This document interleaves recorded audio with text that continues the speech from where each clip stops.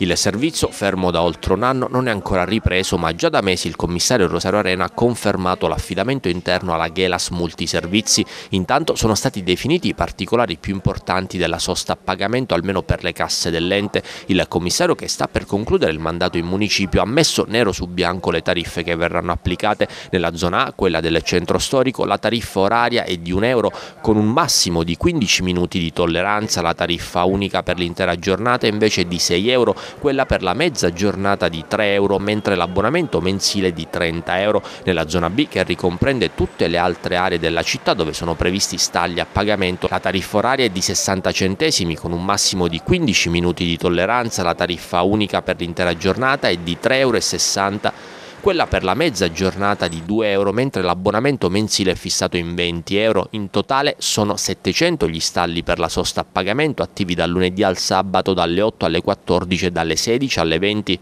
Nella zona del centro storico ne sono previsti 185, mentre in quella B sono 515. Le strisce blu con 20 stalli verranno inserite sul lungomare Federico II di Svevia, ma non nel parcheggio del Tribunale come era stato originariamente ipotizzato. Le attività affidate alla Gelas non sono ancora partite e da mesi va avanti la protesta degli operatori esclusi. A questo punto la nuova amministrazione troverà il servizio già definito e assegnato.